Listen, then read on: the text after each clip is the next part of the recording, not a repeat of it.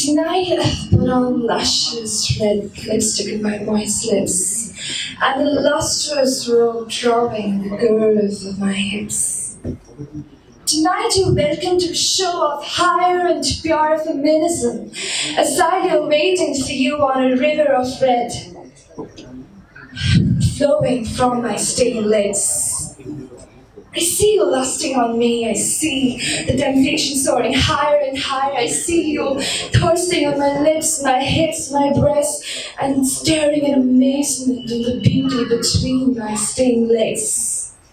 This is the sacred river that flows from my womb.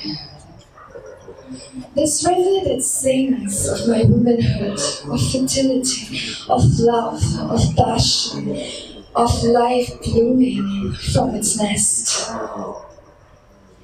Tonight, I see you intimidated by the richness of this sacred river that flows from my womb, because I am Aphrodite, and tonight I welcome you to this highest and purest show of femininity that I host between my legs. I, period.